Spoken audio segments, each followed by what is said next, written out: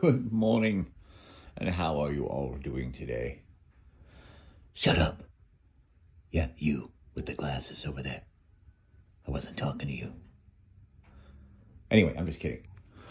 So we've got our first outer fan casing put together, just like I had told you I was going to do.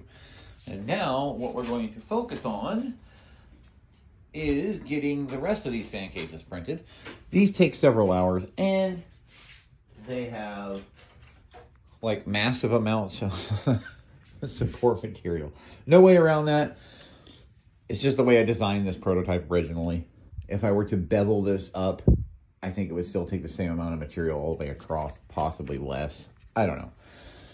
I'll cross that bridge when I come to it. But right now, this is the prototype. So right now, I'm just concerned about getting it put together, making sure the fan casing is secure, making sure that our duct work lines up perfectly.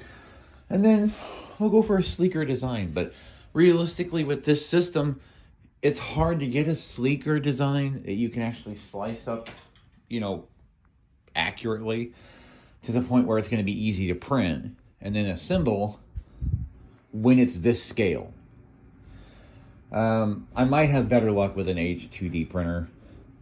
I honestly don't want the two nozzles because I want the full print bed. So I think there's like the H2S, which is the single nozzle, which never made any sense to me.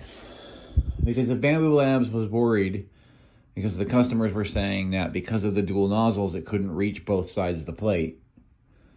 Why didn't they just make the casing for the printer a little bit bigger? Then both nozzles could make it to both sides of the plate and you get the full 350 by 350 and still be able to use two materials. I don't know, just me. I, you know, it's just the engineer in me. Instead, they went and made a whole new damn printer. And then took the other nozzle out and said, we made the H2S because we don't know how to widen the printer. I don't know. That's just me. Sorry for rambling. Anyway, we're on the cases. We're getting those done. I'm printing the second one for this one now. These will hold them up together at the top, just like I did on one of my assembly videos. All the way around.